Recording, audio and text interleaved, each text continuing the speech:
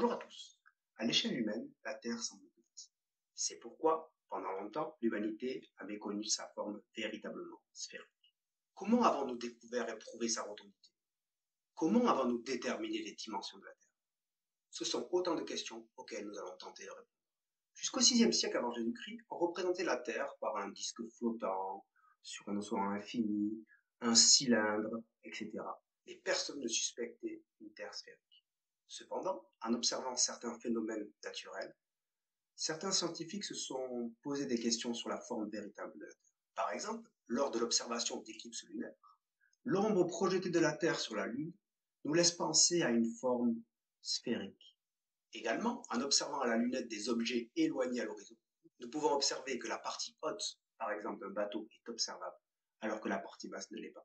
Tout ça est complètement contradictoire avec l'idée d'une Terre plate. Après de multiples observations, il est largement reconnu que la Terre a une forme sphérique. Il sera donc maintenant question de trouver ses dimensions. Au IIIe siècle avant notre ère, Ératosthène tente de déterminer les dimensions de la Terre.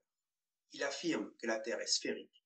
Il veut déterminer la longueur d'un méridien, le méridien étant un cercle passant par les deux pôles, nord et sud.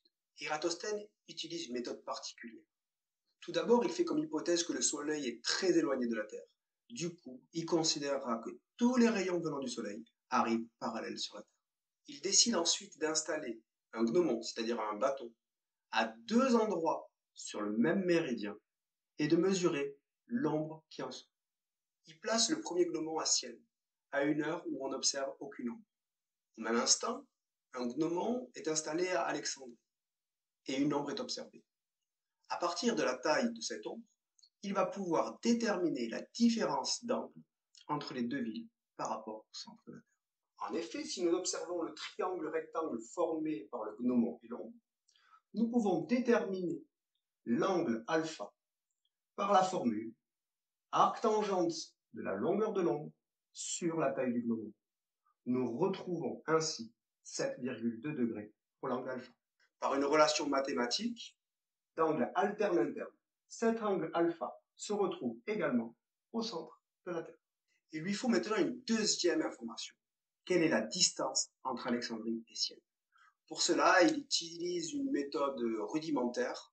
Il s'appuie sur la marche régulière des chameaux. Un chameau peut parcourir 100 stades par jour et il faut 50 jours pour qu'un chameau puisse aller de Sienne à Alexandrie. Il estime donc la distance entre Alexandrie et Sienne de 5000 stades, ce qui représente environ 800 km. Connaissant la distance de l'arc entre Alexandrie et Sienne et connaissant l'angle alpha, par proportionnalité, nous pouvons retrouver la valeur totale du méridien. Pour calculer la valeur du méridien, nous prenons la valeur de l'arc du cercle, multiplié par 360 degrés qui sera le tour complet, divisé par l'angle alpha. Si nous faisons une application numérique, nous obtenons 800 fois 360 divisé par 7,2. Et nous obtenons 40 000 km. Il a donc ainsi estimé la valeur du méridien terrestre. Connaissant la formule reliant le périmètre d'un cercle au rayon, on peut retrouver le rayon terrestre. Nous avons donc rayon terrestre qui sera égal au périmètre du cercle qu'on a appelé le méridien, divisé par 2pi. Nous avons un méridien de 40 000 km divisé par 2pi. Nous obtenons ainsi 6370 km environ. Les valeurs trouvées par Eratosthène sont très proches des valeurs réelles. Il faudra néanmoins améliorer sa technique en mesurant avec une précision plus grande la distance entre les deux villes.